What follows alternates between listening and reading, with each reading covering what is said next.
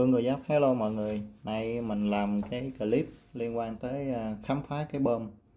À, cái này là bơm nước à, máy máy lạnh của đa số là xài trong mấy cái tòa nhà văn phòng.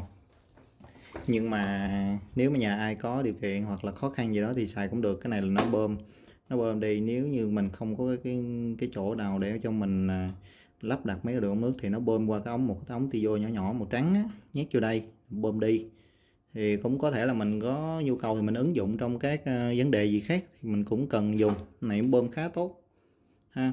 Nhưng mà đối với máy lạnh thì lâu lâu nó sẽ dơ trong nè.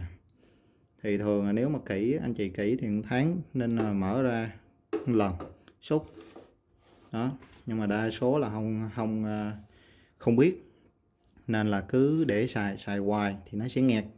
Xài hoài, các bạn nghĩ coi, cái lỗ nè, cái lỗ có bấy nhiêu à? Nhưng sao không nghẹt. Nên là nó dẫn tới tình trạng là hư bơm hoặc là nước chảy xuống tại cái phòng đặt cái máy lạnh đó. Tại vì cái này là để hút nước máy lạnh nên là nó chảy xuống tại đó luôn. Thì dẫn đến hư hao mấy cái thiết bị hết. Thì à, nay mình cũng à, làm mấy cái rồi mà giờ mới quay. Thì à, cái này nè để mà mở rất đơn giản để mà vệ sinh cũng rất đơn giản ha khi nhìn vào thì đôi khi à, có một số à, cái á, thì nó nó nó cái nút này nè nó bằng luôn. Thì mình chỉ cho anh em nha anh em lấy một cái con dít anh em dặn vô cái mình giật lên. Còn như cái này nè nó có cái núm nó nó nó nó, nó trồi sẵn lên rồi. Ha thì mình cũng không cần nữa. Thì giờ mình chỉ cần lấy cái dít mình bẫy lên là xong. Còn kia là mình phải dít lấy một cái con vít nha con vít này nhọn, mình để mình xoay xuống, anh em hình dung không? Mình xoay vô cho nó ăn vô trong cái này nè, nó ăn vô. Nó ăn vô xong rồi mình cầm con vít nó mình giật mới lên, chứ còn nó không có lạnh, không có kiểu nào mà này được, cái này mới này được nè, ha. Thì giờ không không, dông dài nữa, mình sẽ tiến hành mình làm. Nè.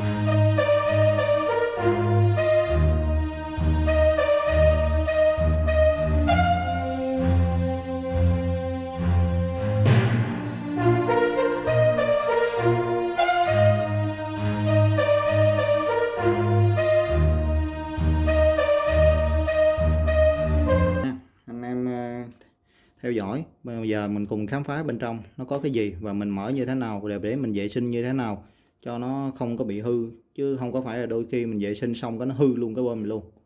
Ha chúng ta thấy nó vậy nhưng mà cái gì cũng phải kỹ kỹ nó mới còn. Chứ còn ẩu là thế nào là nó cũng bị à. Là thấy nó hư luôn á. Tại vì trong này nó có một số cái bo mặt thôi. Nhưng mà mình giật giật giật giật nó đứt đứt là nó hư luôn. Rồi không gắn đúng phao nó cũng hư. Ha, giờ đây. Nè đó. Đây, gỡ ra. Lấy cái dít ba ke hoặc là mình, trong túi mình thì luôn luôn có dít thứ điện, nên mình sẽ lấy dít thứ điện.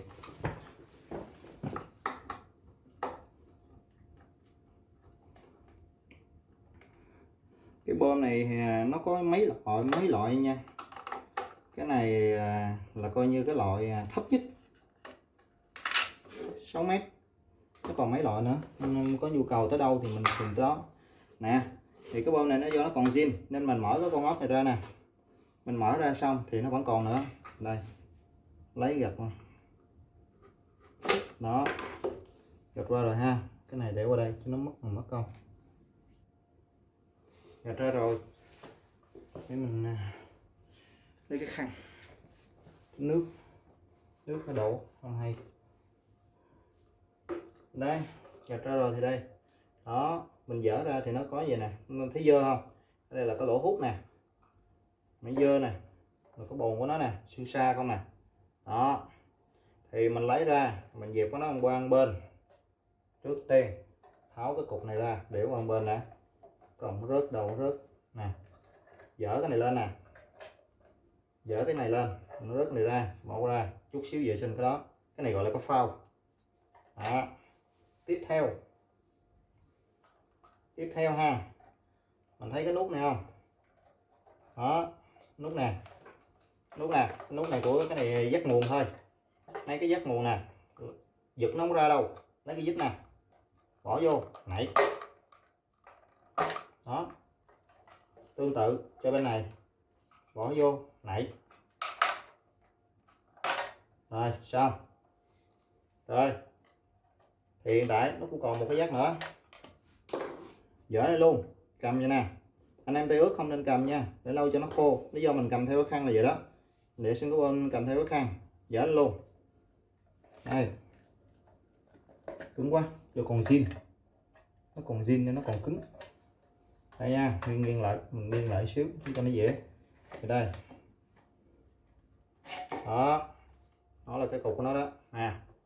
Sau khi xong thì mình lấy cái này ra này lấy ra hồi chút xíu vệ sinh cái này.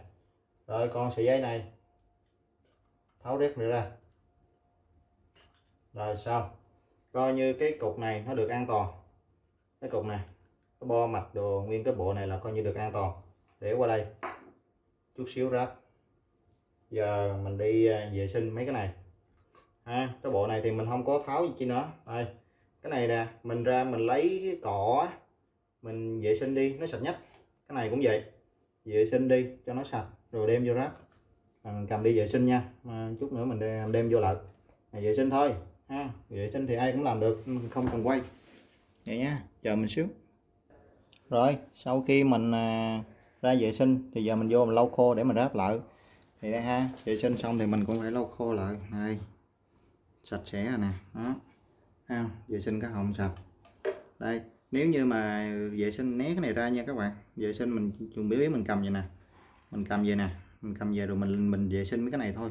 Đừng có cho nó ướt mấy cái này. Lỡ như ướt thì lấy máy sấy á. Hoặc cái gì đó thổi hoặc này phơi khô đi rồi hãy lắp lại. Đừng có lắp cái ướt không hay. Giờ thì ờ, mình tiến hành ráp vô. Trước khi ráp thì cũng phải lâu lâu cho nó cái. Đấy, cái chỗ này lâu vô. Cái sinh sạch thì lau vô. Rồi cái bồn cái bồn này cái bồn này nè. Mình nãy nó có gian nước vô thì mình phải lau còn bồn này khỏi. Thì cái bồn này bồn chứa nước. Lau làm chi? Thằng nào chẳng có nước vô. Tí xíu bỏ nước vô tép nữa mà.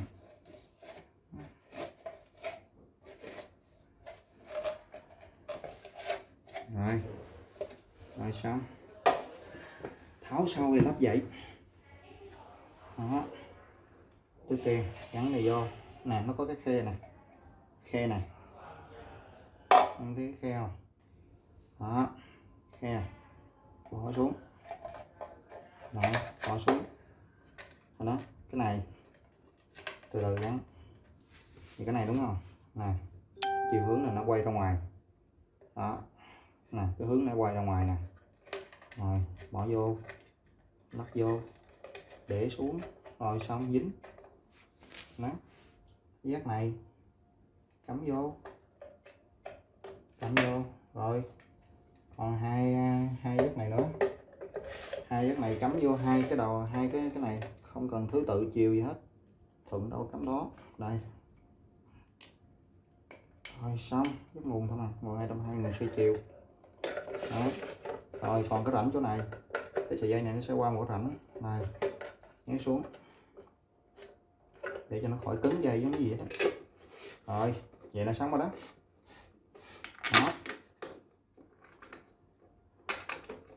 Có dít ba ke, lấy dít ba ke dặn cho nó ngon nha. Mình quen rồi.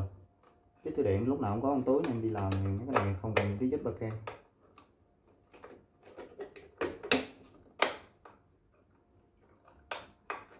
Lúc mà lắp vô, mình lưu ý ha, anh em đừng có ý y cắt nguồn vô, đổ đầy nước cho nó hút lên, coi nó hút không. Đổ lấy hai ba chai nước suối. Thường là đổ chai nước suối ba trăm ba trăm ba mươi và nó đầy. Xong rồi đổ thêm chai nữa, coi thấy nó hút nó hút hoài hút tốt không. Tại vì ở đây này nó có đường ống nước lên, đôi khi nó hút lên tới đó cái lỡ như ở trên nó nghẹt cái cũng như không. Nó trào ngược lại, thì mình coi cái đó đó. Rồi, xong, như mới, sạch sẽ. Xài thêm khoảng tháng nữa tháng hai tháng nữa vệ sinh tiếp. Đó.